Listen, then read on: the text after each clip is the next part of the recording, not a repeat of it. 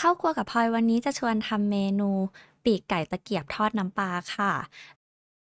เริ่มต้นด้วยการหั่นครึ่งปีกกลางไก่ค่ะ การหั่นแบบนี้จะช่วยให้ไก่สุกง่ายนะคะ แล้วก็กินง่ายด้วย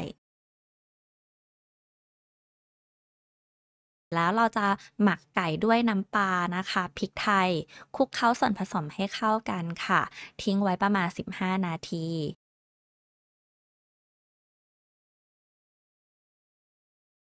แล้วเราจะใส่แป้งทอดกรอบค่ะ น้ำเปล่านิดนึงคลุกเคล้าส่วนผสมให้เข้ากันนะคะ เราจะตั้งน้ำมันค่ะให้ร้อนนะคะ แล้วก็เอาปีกไก่ของเราลงทอดได้เลย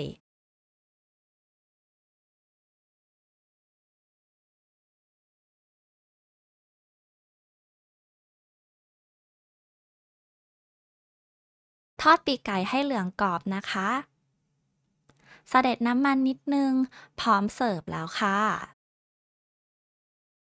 เพื่อนๆลองไปทำดูกันนะคะ